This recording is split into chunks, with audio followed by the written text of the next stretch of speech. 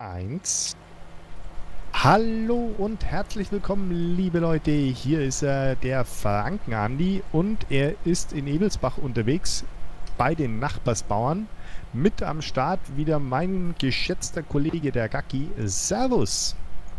Hallo zusammen und ja, willkommen zu einer weiteren Folge hier auf der Ebelsbach und ich bin hier immer noch dabei, diesen Fehler des Helfers von der letzten Folge zu beheben. Das heißt, wir werden mal die halbe Wiese jetzt hier mit Weizen ansehen. Zumindest mal für eine Folge, wenn das mit der Sämaschine funktioniert. Der macht immer noch komische Aussetzer hier.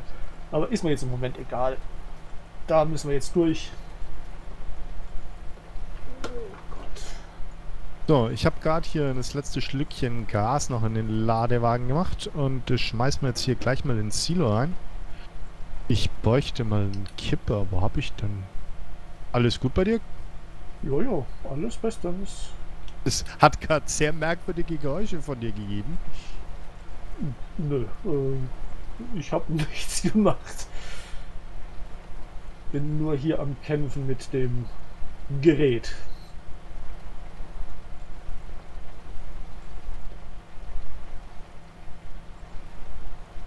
So.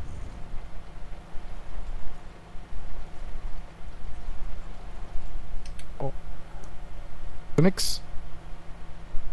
So. So, was machen wir hier? Können hier anfahren. Zack. Äh, Chip. GPS. äh, So. Ja, na, 4,2. Na gut, lassen wir es bei 4,2, wenn er das sagt. Dann wird das ja wohl stimmen.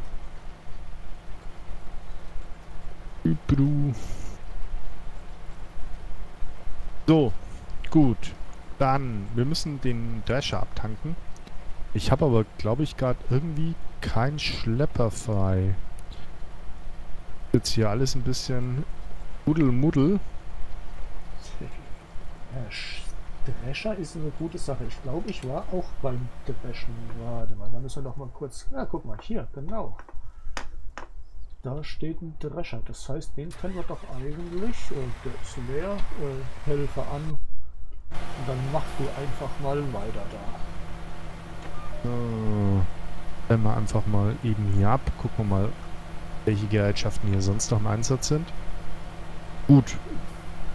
Pause machen ist natürlich auch eine Alternative. Ähm, du, Gaki, Ja. wir hatten uns ja hier über diesen einen wunderschönen Mod so unterhalten. Der, der Seasons Mod, der dich so ein bisschen ähm, mit nicht so schönen Erinnerungen plagt, sage ich jetzt mal so vorsichtig. Ja. Ähm, hast du den mal angeguckt? Was hältst du denn davon? Äh, ich habe ihn mir angeguckt. Ich habe mir auch schon so ein paar äh, Tutorial-Videos reingezogen auf YouTube. Ähm,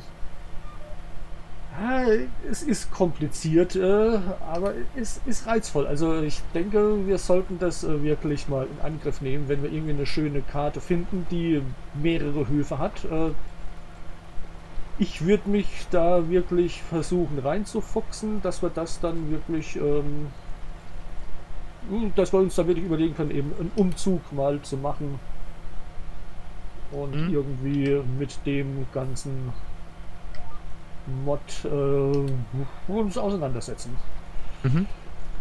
Also ein Kandidaten, glaube ich, ja, es gibt zwei, glaube ich, die ich ähm, ganz interessant finde. Ähm, die sind aber halt noch nicht ready, ist ganz klar, ne?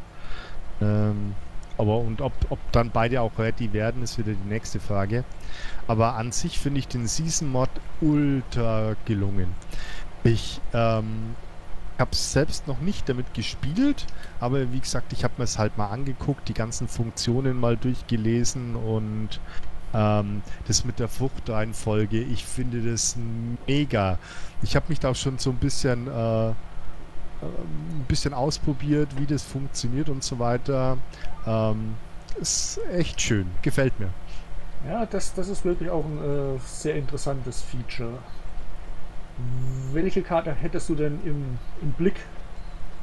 Ähm, die Niederbayern, ähm, die gibt es ja schon länger. Die ist ja auch relativ groß und glaube ich hat auch mehrere Höfe, wenn ich das ganz richtig im Kopf ja, habe. Ja, die, die hatten wir schon mal online ein bisschen gespielt. Die hat äh, drei Höfe, ja. Äh, Genau. die wäre Ähm, ja, interessant. Weil ähm, ich finde das halt sehr interessant, zwecks der Multifruit. Ähm, kommt, glaube ich, da relativ viel Spaß auf. Ja. Und als zweite Karte diese Mod-Karte, äh, ich bin mir aber mit beim Namen ein bisschen sicher.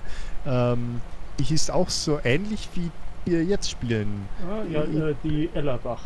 Ja, genau. Die, die hatte ich auch schon äh, ins Auge gefasst. Wobei ich da mitbekomme, dass da wohl so auch noch ein paar andere Fehler mit drauf sind. Dass man irgendwie teilweise wohl äh, Wälder neben der BGA kaufen muss, damit die BGA funktioniert und so. Oh, Ja, das ist nicht so äh, günstig. Aber sonst müssen wir eben wirklich mal gucken, wo Niederbayern. Also die ist, äh, finde ich, äh, sehr. Ist eine sehr gelungene Karte, aber da müssen wir eben mal äh, nachforschen, ob es da eben eine äh, Seasons Ready Karte gibt, ob die die umbauen oder eben nicht. ich glaube, die muss eh noch nachgepatcht werden, weil ich glaube 1.4 funktioniert nicht so gut auf ihr, wenn ich das so. Ich habe mal nur ganz kurz mal ein bisschen angespielt und dann ging halt manche Tore und so nicht auf. Das war ein bisschen. Ähm, Mhm. weil der die, die, die 1.8 Version, die gibt es ja auch schon etwas länger. Ähm, ja, weiß nicht, ob das da. Müsste man mal gucken, äh, ob man da vielleicht einfach mal den Modder anschreibt. Ob es da eine Möglichkeit gibt. Wobei man könnte, also ja, äh, was jetzt so die Vegetation angeht, könnte man vielleicht sogar schon äh, darauf hoffen, dass sie äh, Seasons Ready ist, weil das ja eine umgebaute Felsbrunn ist. Hm, Das heißt also Stimmt. Bäume und so könnte man davon ausgehen, dass die Giants Standard sind und dann wäre es äh, äh, Seasons kein Problem. Es kann höchstens eben sein, dass die Schneemaske nicht richtig äh, funktioniert und na gut, dann müsste man da vielleicht eventuell drüber wegsehen. Ja, Das aber halt das, glaube ich, kann ja zum Problem werden, wenn die Hallen äh, Na gut, nicht. was, was, äh, was Ballen und so angeht. ja, genau. Ja, gut, stimmt auch wieder. Ja, muss, muss man mal überlegen.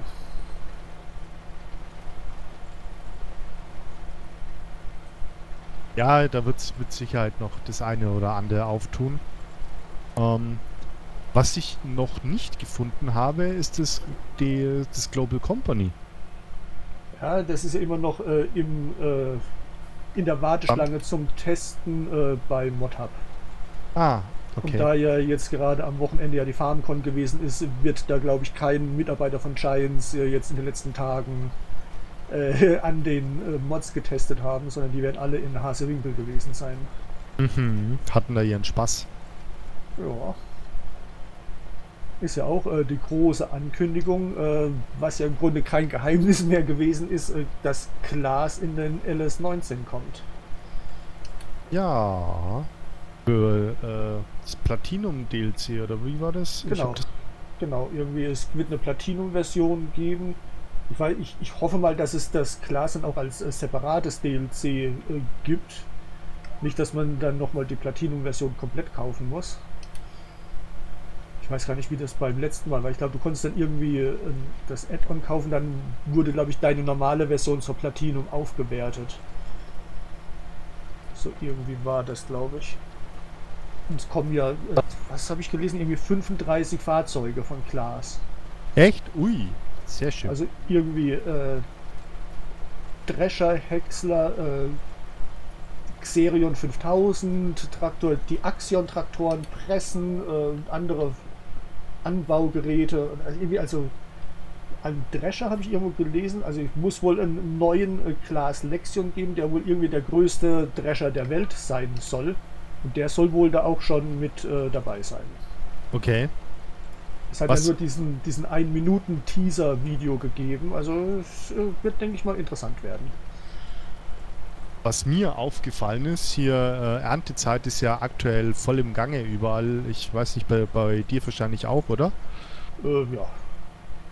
Ähm, und bei uns in der Gegend sind fast ausschließlich Glasdasher unterwegs.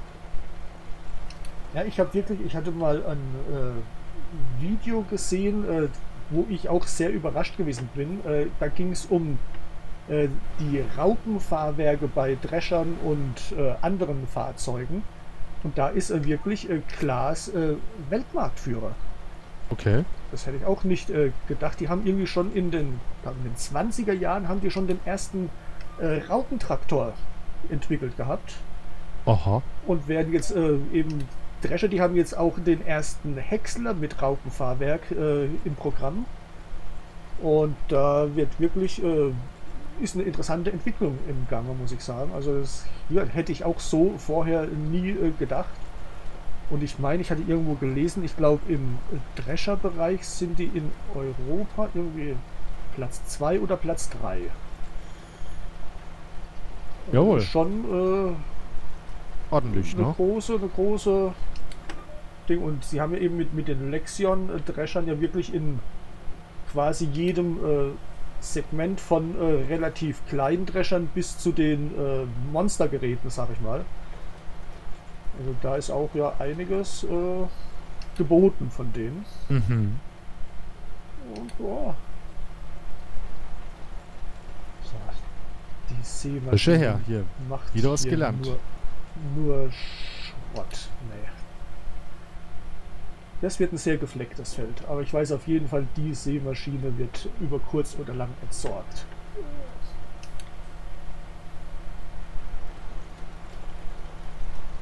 Hier noch ein bisschen nacharbeiten. So. Das war wirklich so mit diesen Raupenfahrwerken. Am Anfang waren das wirklich äh, reine Stahlketten, so wie man es eben von, von Panzern kennt. Okay. Und das wurde dann eben immer weiter verfeinert und äh, verbessert. Und jetzt hat man eben wirklich diese Gummiketten, die, die du problemlos auch auf der Straße fahren kannst. Mhm. Und äh, ja eben wirklich sehr bodenschonend arbeiten. da ist auch noch ein Stück. Ich werde mich fertig hier.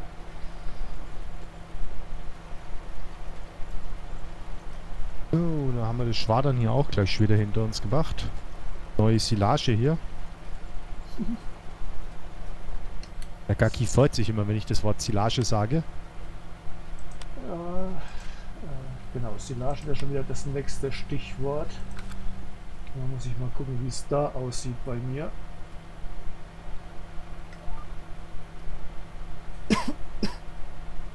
Erstmal muss das Ansehen hier fertig werden. Mhm. Das Maisdreschen, da muss ich ja da drüben auch schon wieder ansehen. Oh Gott, man kommt hier nicht aus der Arbeit raus, das ist Wahnsinn. Ja, siehst du, mit Seasons hätten wir jetzt erstmal unsere Winterpause, ne? Ja, so ungefähr.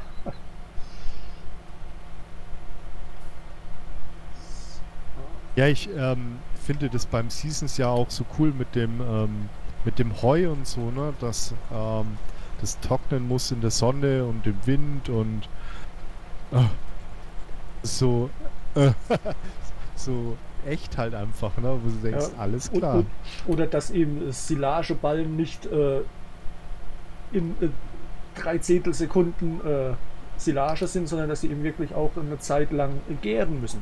Ja, Das, das finde ich eben auch so ein schönes Feature. Das ist halt wirklich, hast deine äh, Silageballenpresse und äh, hast eben wirklich gleich die Silage drin. Und das ist na klar Hm. auch äh, nicht wirklich realistisch.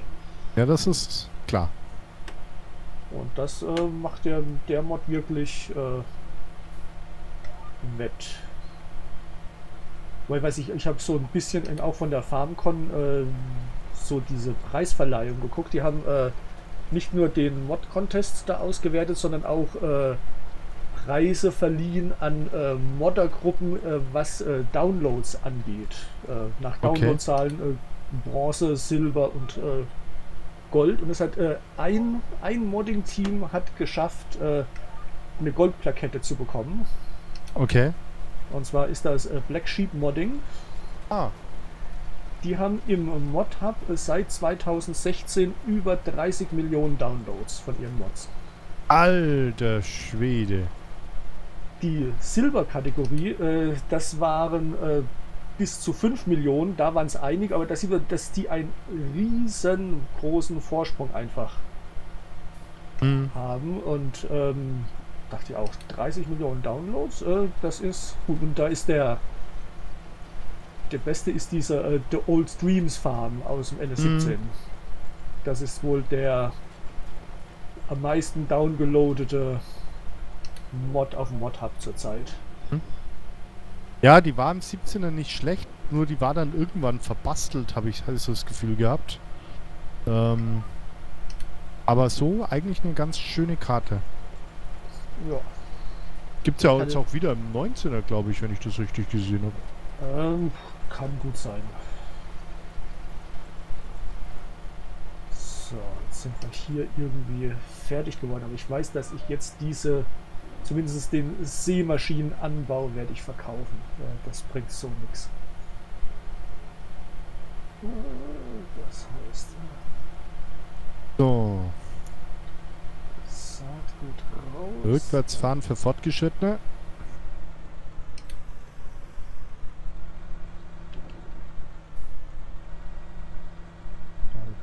Tiefenlockerer und Fräse können wir ja weiter benutzen. Dann holen wir uns nämlich eine andere Seemaschine. Na toll. Erst spreche ich ja auf, weißt du, und dann gleich mal voll verkackt. so.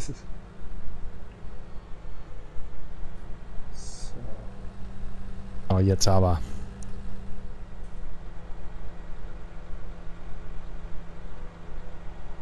Äh. Herrlich. Ja, da ist schon wieder Stau. Dann nehmen wir die Abkürzung über die Wiese.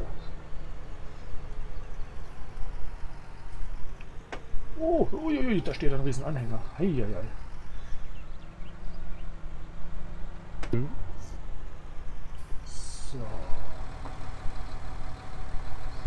Auf meiner Wiese? Oder Nee, wo beim meinst du? Händler. Beim Händler. Achso. Beim Händler? Ach, stimmt. Wo du sagst, da steht noch mal ein Anhänger. Ach, deiner ist das. Ja, den habe ich, ich habe mir noch den gleichen gekauft wie du. Ach so, oh. So. Kaufen. So. Den auch gleich Gut. repariert. So, dann ist das wieder gut hier. Dann ah, schnappen wir uns gleich mal den Striegel. Denn auf unserem frisch gesäten Feld hat sich ja das Unkraut breit gemacht. Und wir haben noch eins, zwei Minütchen Zeit, das reicht, um gerade runterfahren zu können. Dann hämmer das Arsche getan. So, der Drescher hat die Arbeit erfolgreich beendet, sagt er. Das sehe ich das- anders, aber na gut. Mach du mal sagen, Pause. Ist, ist, das dein Drescher oder ist es mein Drescher? Ich glaube meine. Aber er hat die Arbeit trotzdem nicht erfolgreich beendet. Mal gucken, meiner steht da auch irgendwie so unmotiviert in der Gegend rum. Oh, ah, da kommt ein Auto. Oh, das war jetzt aber knapp gewesen. Hm, Aber ich glaube, der ist voll. Wird mich nicht wundern. Äh, so, gucken wir mal ganz kurz.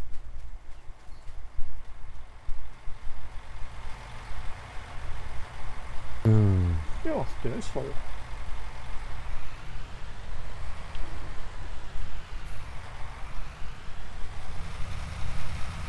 Ab aus dem Windschatten raus. Ach, überholt. Yes.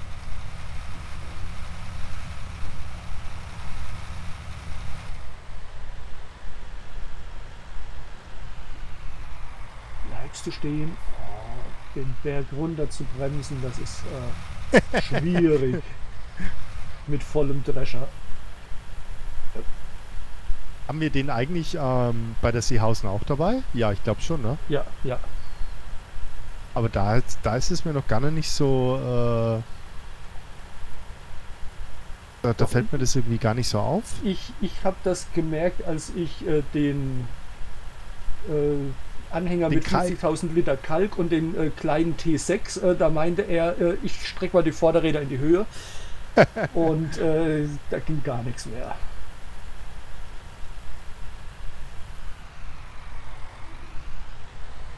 So, hatten wir nicht mal leer bekommen, jetzt sowas. So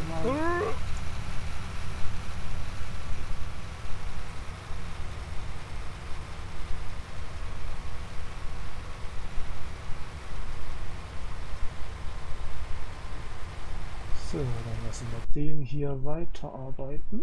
Und wir fahren einmal weit, nee, Mais nach Hause.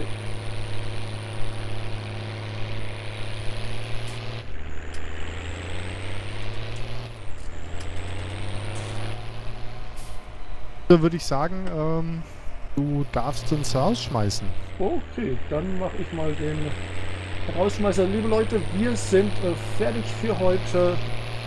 Ich hoffe, es hat euch wieder Spaß gemacht, uns zuzusehen. Lasst gerne ein Däumchen da oder schreibt was in die Kommentare bei mir und eben auch beim Franken Andi. Und dann sage ich Tschüss, bis zur nächsten Folge. Von mir auch ein herzliches Tschüss.